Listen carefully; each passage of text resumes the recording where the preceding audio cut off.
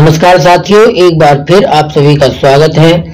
इस वीडियो में हम प्रेरणा पोर्टल पर, अर्थात प्रेरणा यूपी डॉट इन पर सत्र 2024-25 में वित्त वर्ष 2023-24 का जो कंपोजिट ग्रांट विद्यालय को प्राप्त हुआ है, उसका जो डीसीएफ है, वो किस तरह से भरना है वो हम इस वीडियो में जानेंगे। तो हमारे साथ बने रहिएगा। अंत तक वीडियो पसंद आए तो इसे लाइक और शेयर करना न भूलें। तो करना क्या है? हम आपको बता देते हैं। सबसे पहले आपको जो ये लेफ़्ट साइड में आपको विभिन्न प्रकार के ऑप्शन दिखाई दे रहे हैं। इनमें से ये कंपोजिट ग्रांट वाला डीसीएफ 2023-24 को सेलेक्ट करना है। इस पे हम जैसे ही क्लिक करेंगे तो हमारे सामने कंपोजिट ग्रांट डीसीएफ 2023-24 खुल जाएगा। इसमें जो डाटा ऑटोमेटिक फिलअप है, वो डिस्ट्रिक्ट का नाम होगा एरिया यूडाइस कोड और ब्लॉक विद्यालय का नाम स्कूल की कैटेगरी और जो भी टीचर आप यहाँ पे भर रहा है इस डीसीए को, उसका नाम से होगा, उसका मोबाइल नंबर से होगा, और जो ग्रांट प्राप्त हुई है विद्यालय को, वो ऑटोमेटिक यहाँ पे शो होगी इसके अलावा सेशन यहाँ पे दे रखा है तो सेशन ऑटोमेटिक इसमें फिल 2024-25 शो होगा, और वित्त वर्ष 2023-24 का भरना है, क्योंकि 2023-24 का वित्त वर्ष का भरना है, और हमें भरना है 2024-25 में। तो इस पे हम यहाँ पे सेलेक्ट कर लेंगे। हमने यहाँ पे सेलेक्ट कर लिया। फिर टोटल अमाउंट कितना खर्च किया है? पच्चीस हज़ार में से हमने कितना अमाउंट खर्च किया है, वो यहाँ पे भरना है। पच्चीस हज़ार का पच्चीस हज़ार मान लीजिए हमने यहाँ पे खर्च कर दिया है तो हम इसको पच्चीस हज़ार ही अमाउंट इसमें भर देंगे, क्योंकि अधिकांशतः साब्यस्त धनराशि ही व्यय हो जाती है। उसके बाद हमें नीचे अलग अलग हेड दिए हैं कि किस किस मद में आपने इस पच्चीस हज़ार की धनराशि या आपके विद्यालय में जो भी कंपोजिट ग्रांट प्राप्त हुई है, दस हज़ार, पच्चीस हज़ार, पचास हज़ार या उससे ऊपर एक लाख या और भी अधिक, ये बच्चों की संख्या पर डिपेंड करता है। तो सैनिटेशन प्रोग्राम स्वच्छता अभियान soap phenyl bleaching bucket dustbin broom toilet brush toilet cleaner nail cutter फिर मेंटेनेंस वर्क इसमें जो कमोडिटी जो नंबर ये दिए हैं, मद के नाम दिए हैं, उसी क्रम में दिए हैं कि जिस क्रम में आपको कंपोजिट ग्रांट को खर्च करना है। जिस मद का सबसे ज़्यादा ज़रूरी है, उस मद को सबसे पहले दिया है और जो प्रायोरिटी के तौर पे आगे को बढ़ते चले जाएँगे। तो आपको यहाँ पे इस तरह से कुल 28 मदें दिखाई दी हैं। नीचे अट्ठाईसवीं जो मद है, वो टोटल एक्सपेंडिचर की है कि जो फाइनेंशियल ईयर में हुआ है, इसका टोटल जोड़ के यहाँ पे आ जाएगा। और इस तरह से कुल 27 मदें रह जाती हैं।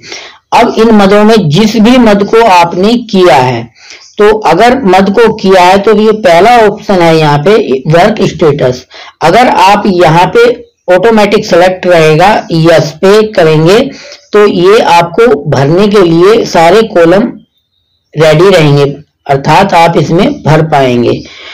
अगर आप इस मद को यहाँ पे काम इस वाले मद पे आपने नहीं किया, अगर आप नो कर देंगे तो ये जो कॉलम है ये ऑटोमेटिक इनएक्टिव हो जाएँगे, अर्थात इनमें आप फिर कुछ भी नहीं भर पाएँगे और ना ही भरने की ज़रूरत है। तो इस तरह से मान लीजिए आपको पहला जो ऑप्शन है, इस पे यस करेंगे तो यस करने के बाद में यहाँ पे आपको अमाउंट भरना है कि इस पे कितना खर्च किया। मान लीजिए आपने इस चीज़ पे दो हज़ार रुपए खर्च किए हैं तो हम यहाँ पे दो हज़ार रुपए भर देंगे। फिर यहाँ पे बिल बाउचर को जो है चूज़ करने के लिए बोल रहा है कि आपको वहाँ से फ़ाइल से बिल बाउचर को कॉपी मतलब उसकी जो कॉपी है, खींच के रखेंगे और यहाँ पे आप सेलेक्ट करके यहाँ पे उसकी एक कॉपी अपलोड करेंगे। फिर यहाँ पे वर्क फ़ोटो का अपलोड करेंगे। जो कि आप पीडीएफ फ़ाइल में अपलोड करें तो ज़्यादा बेहतर रहेगा, वरना आप जेपीजी फोर में भी कर सकते हैं। उसके बाद यहाँ पे वाउचर की इमेज और वर्क की फ़ोटो यहाँ पे शो होने लगेगी। जो भी आप यहाँ पे अपलोड करेंगे बिल वाउचर को अपलोड करेंगे, वो यहाँ पे शो होगी और जो वर्क फ़ोटो को अपलोड करेंगे, वो यहाँ पे शो होगी। उन इमेज को आप देख भी सकते हैं फिर बाद में। अगर मान लीजिए पहले उसमें हमने काम नहीं किया है तो हम इसको नो कर देंगे तो ये हमारा इनएक्टिव हो जाएगा। इस तरह से मेंटेनेंस वर्क पे मान लीजिए हमने वर्क किया है और हमने यस किया यहाँ पे, और इसे हमने मेंटेनेंस वर्क पे कुल आठ हज़ार रुपए खर्च किए हैं तो आठ हज़ार रुपए यहाँ पे भर देंगे, और यहाँ पे कोई भी फ़ाइल जो भी इसकी है, हम यहाँ से सेलेक्ट करके अपनी गैलरी में से इस तरह से सेलेक्ट कर लेंगे। यहाँ पे गैलरी सेलेक्ट मोबाइल में जाके या डॉक्यूमेंट पे जाके या गैलरी पे जाके, जैसे गैलरी है तो गैलरी सेलेक्ट कर लेंगे। और डॉक्यूमेंट पे अगर करना है तो ये हमारे ये डॉक्यूमेंट भी सेलेक्ट हो रहे हैं। यहाँ से भी हम सेलेक्ट कर लेंगे। इस तरह से फ़ाइल हम अपनी यहाँ पे सेलेक्ट कर लेंगे। उसे अपलोड कर देंगे।